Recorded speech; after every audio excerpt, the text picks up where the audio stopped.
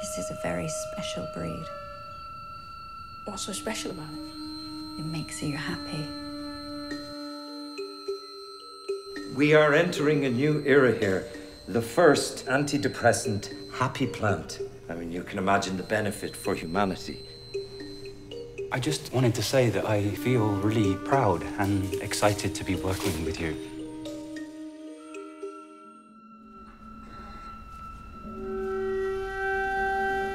Why did you design the plant to be infertile? It's not natural.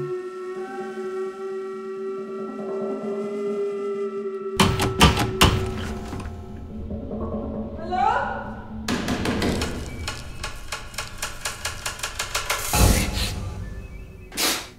Recently, I've been getting on really well with Dad. I do want to live with him after all. What? It's as if Joe weren't Joe anymore. Oh, Alice, there you are. What's going on here? There's nothing wrong with Joe. If there's anyone that's changed around here, it's you. What if the virus mutated? There are simply no symptoms. Who can prove the genuineness of feelings? Moreover, who cares?